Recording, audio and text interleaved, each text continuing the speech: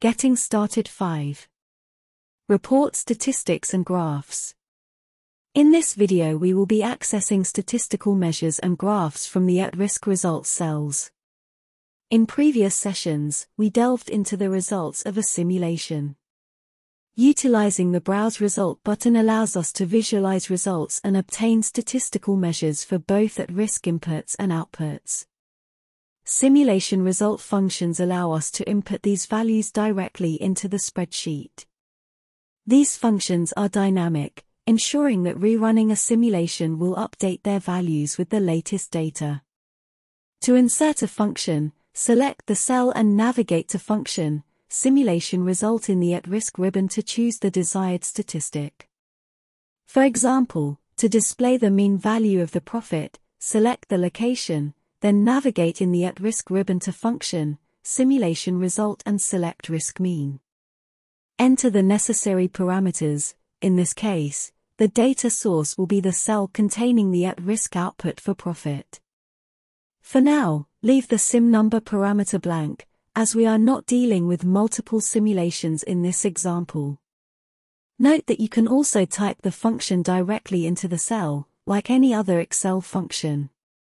Commonly used functions include the risk percentile and risk target functions. The risk percentile function returns the value of an at-risk output at a given percentile. Leverage Excel's relative and absolute references to simplify copying and even integrate functions into more complex expressions. You can view the example in the interquartile range calculation.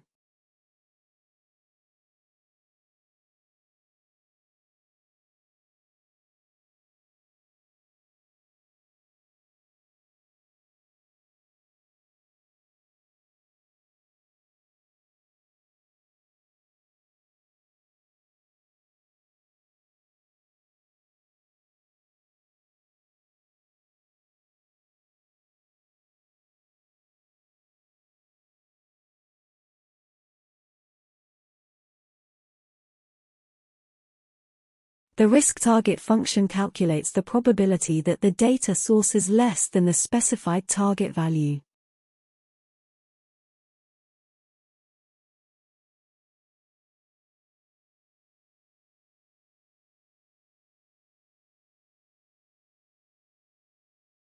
These functions can serve as arguments in other functions.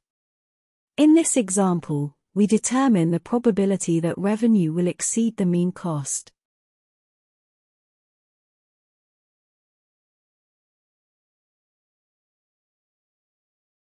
You can cross-check these values with the statistics of the at-risk output using the result browser window.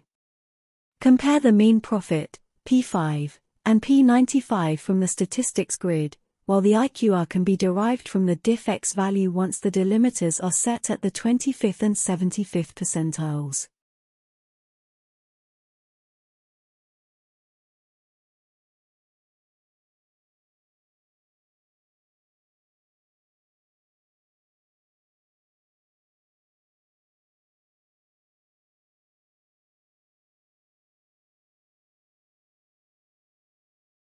At-risk functions can also automate the generation of simulation graphs after the simulation is completed.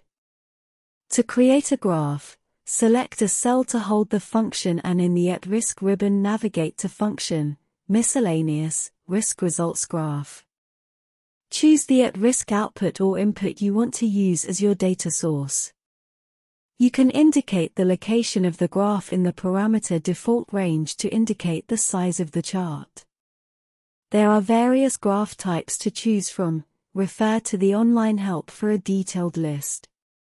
Utilize the help on this function link for a quick access to the help site. For this demonstration, we will configure the graph to generate a relative frequency histogram of the profit variable by entering 13 as the type. The title used in the chart defaults to the name of the variable. However, we can enter a different title in the parameters. The chart will be generated when the simulation completes. We will create a second risk result graph to display the regression coefficient tornado chart of the profit variable.